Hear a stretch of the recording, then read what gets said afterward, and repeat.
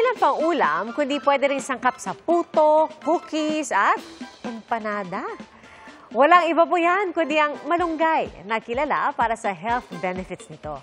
Ating saksihan.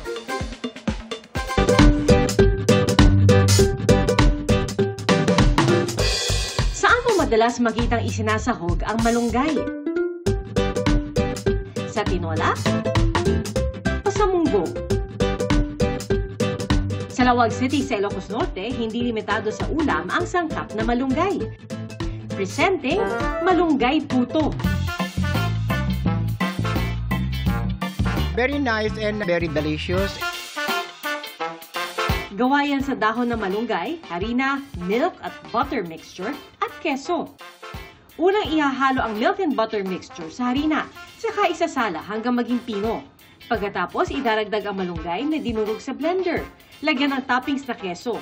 Isalang ang mixture sa steamer ng 15 minuto. At wala! Ready na ang malunggay puto. Perfect combination daw yan sa malunggay Mickey ngayong tag-ulan. healthy isuna kasi pure na marunggay. Awanti halo ng artificial na food coloring. Healthy po siya. Lalo uh, duubing nga haan nga mga ti gulay.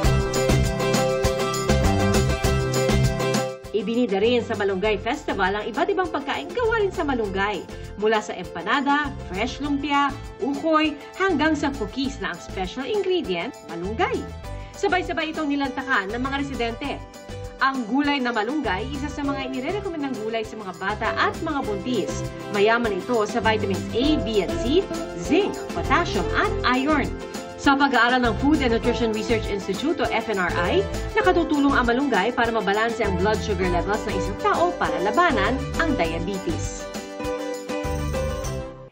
Mga kapuso, sama-sama tayong maging saksi. Mag-subscribe sa GMA Integrated News sa YouTube at para sa mga kapuso abroad, samahan niyo kami sa GMA Pinoy TV at sa www.gmanews.tv.